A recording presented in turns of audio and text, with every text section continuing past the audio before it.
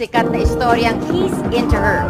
At ang bibida, walang iba kundi sina Donnie Pangilinan at dating child star Bel Mariano.